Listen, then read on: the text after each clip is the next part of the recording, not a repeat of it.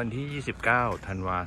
2564 วันนี้ก็ใกล้ปีใหม่แล้วครับ แต่ว่าทีมช่างก็ยังคงทำงานขมักเขม้นอยู่นะครับ วันนี้ก็ยังยังเน้นที่หลังคา โดยที่โดยหลังคาเนี่ยก็มีการทำเพิ่มเติม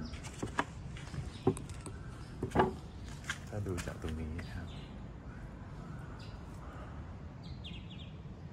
ก็จะเห็นว่ามีการทำตรง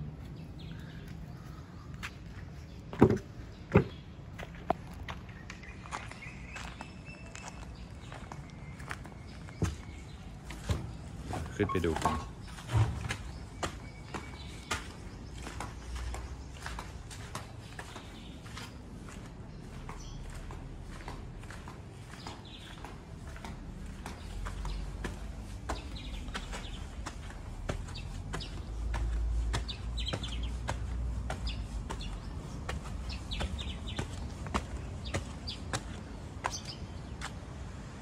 นี่อันนี้คือเพิ่มเติมขึ้นมานะครับวันนี้ ก็ดูห้องนอน